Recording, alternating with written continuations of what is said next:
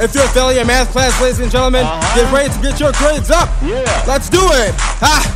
Coordinate planes and plotting points is easy. Easy. Pay attention to the x and y values. Here's some graph paper and plot some points. Let's go! Yeah. When you tryna graph, Tryna graph. you start with X. Start with X. Go left or right, Left or right. then you know what's next. Now what's next? Go up or down, Up or down. I'm talking about Y. Talking about Y. Plot your point. Come give it a try. Plot, plot, plot, plot, plot, plot, plot, plot, plot, plot, plot, plot, plot, plot, plot. Everybody, plot, plot, plot, plot, plot, plot, plot, plot, plot, plot, plot, plot, plot, plot, plot, plot. Everybody. The coordinate plane has two axes, the horizontal X and the vertical Y. Ordered pairs are a fundamental part of graphics. Ordered pairs make up functions on a graph. Now plot your points.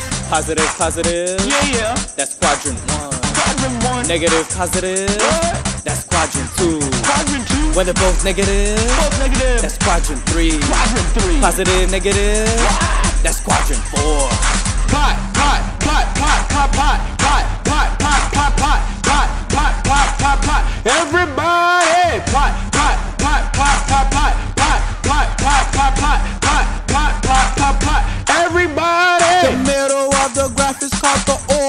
origin. The name of a point is called the coordinate. A place where you can graph is called the coordinate plane. Uh-huh. Now you can grab your point so you won't feel insane.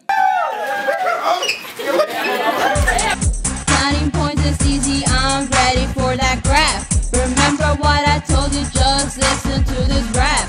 Go left and right when you're dealing with the X. Up and down for Y, that's the only thing that's next.